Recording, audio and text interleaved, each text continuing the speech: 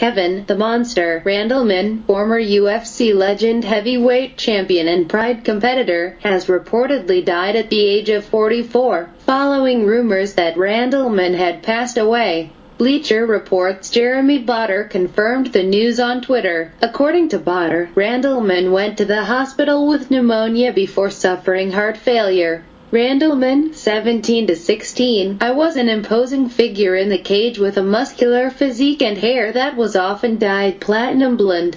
He debuted in the UFC's trademark octagon with a road to the heavyweight title tournament victory over former heavyweight champion Maurice Smith, but fell to Bas Rutten in the finals at UFC 20. The loss to Rutten stood out as one of the most controversial decisions in early UFC history. One fight later, at UFC 23, Randleman won the vacant title, beating Pete Williams by unanimous decision. The win was important to Randleman on more than one level, as Williams had famously knocked out his close friend and Team Hammerhouse mentor Mark Coleman one of Randleman's coaches while a wrestler at Ohio State University. Randleman successfully defended the title against Pedro Rizzo, but lost the belt to Randy Couture at UFC 28.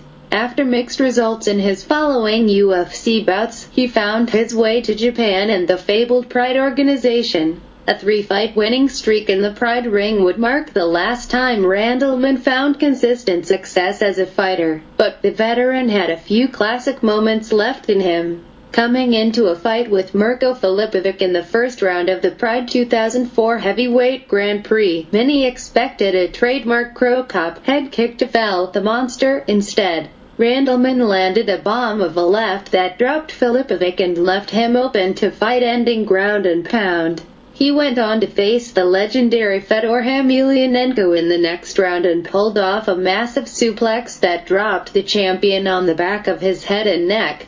Emelianenko recovered and won the fight but the suplex will live on in highlight reels forever. Kevin, the Monster, Randleman went 3 to 11 from 2004 until retiring in 2011. He leaves behind a wife and four children.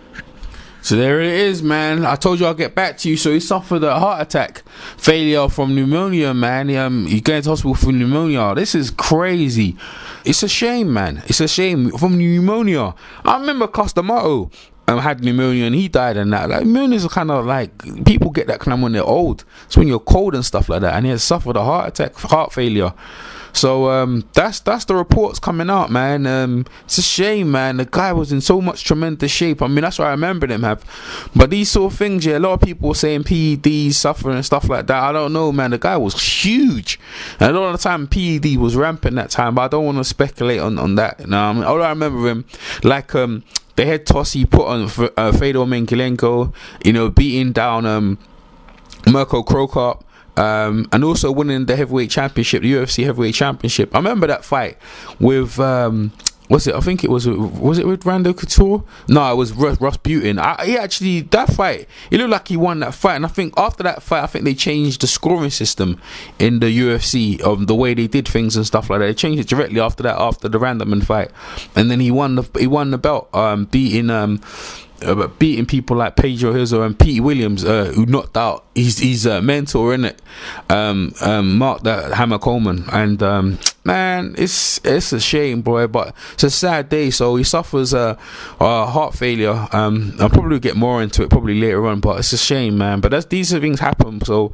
um, R.I.P. Um, Kevin the Monster Randleman, and um, uh, my thoughts go out to his family and kids and stuff like that man. So um, leave your comments in the comment section um like be respectful and stuff like that. And um yeah man that's all we can do at this point man. So i just put like clips of stuff and and that's it really man. It's a shame man. It's a really sad day in, in the world of mma all right man i'll catch you next one. Peace. Dj boxing live here. Dj boxing live here.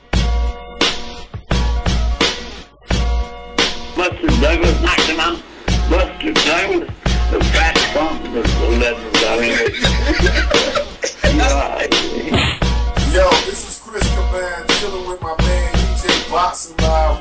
DJ Boxing Live, one of the hottest, boxing channels on YouTube. Check them out.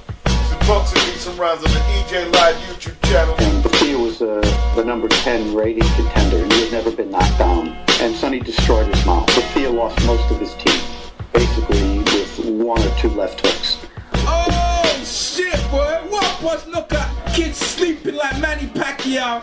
EJ Boxing Live here. EJ Boxing Live here.